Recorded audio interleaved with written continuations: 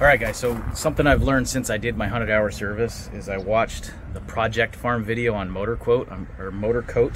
I'm gonna put that up here in the description, a little card of that video.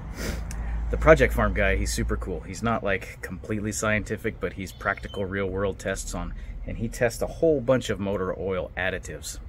And Motorkote is one that he tested, and it actually resists water.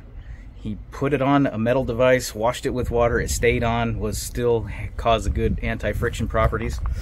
And out of all of the other additives, it had the most anti-friction, so caused the least resistance. So I'm gonna be putting this in my Suzuki's, but right now I'm gonna put it in my vehicle uh, that you've got here. I'm gonna start putting this in everything. And it's just real world tests, friction abilities, how much wear it provides, how much water resistant it has. So if you put that in like your lower unit, for example, and you get some water in it and the water gets diluted, the Motorkote clings to the metal and doesn't wash off in the water. And so it provides that resistance to your lower unit. So I'm putting in the lower unit, I'm putting in the motors, I'm putting in everything. Okay, so you can see as I'm dumping it in my vehicle here, I gotta put 14 ounces, two ounces per quart. You can see the stuff is like super clear and uh, real thin. And that's super good stuff here. Still gotta put a little bit more in there. I'm just measuring it off the container two ounces per quart. This thing takes seven quarts. There we go. It is a hundred bucks for a gallon, so about 20 bucks a quart, um, or 80 bucks for a gallon.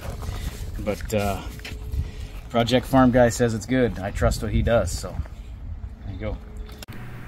Okay, you can see here that he's coating the bearing and the race with Motorkote, and then he puts water in the cup and to simulate water washing the stuff off and then you'll see at the end he compares the bearing wear with the water and just the Motorkote coating the bearing and just the Motorkote without water and then the bearing with just standard oil next to it. And you can see how what kind of improvements you get with Motorkote and then even with the water even with your complete lower unit let's say for example filled with water but your metal components are coated with the Motorkote, you can see the kind of uh, friction protection or wear protection you get from that product. So it's super impressive.